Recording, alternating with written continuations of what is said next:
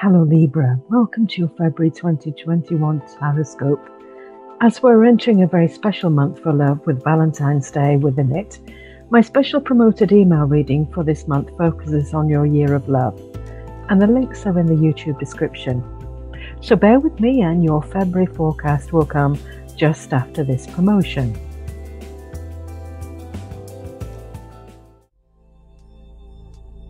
Regardless of whether you're in a committed relationship or looking for love, and you're needing more focus on your romantic life ahead, then this 13 card tarot spread is specially designed to look at your year's journey regarding love and relationships.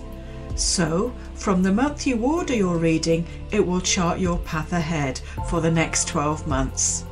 So, what lies ahead for you in the love area of your life?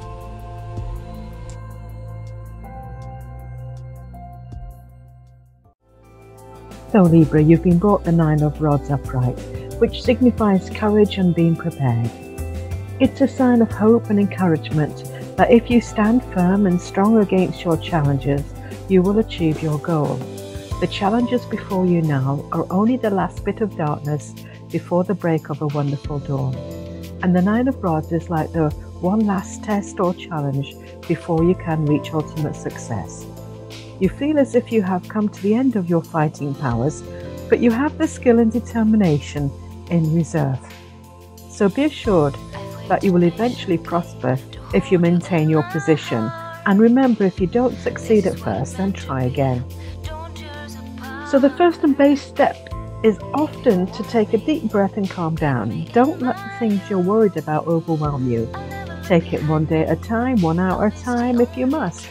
At least some of your worries will very likely turn out to be imaginary. Get very specific on what you're afraid of and pick it apart. What is the true likelihood of the worry actually happening? Comfort yourself, and if you need help, don't hesitate to ask for it. Asking for help is the mark of a strong person.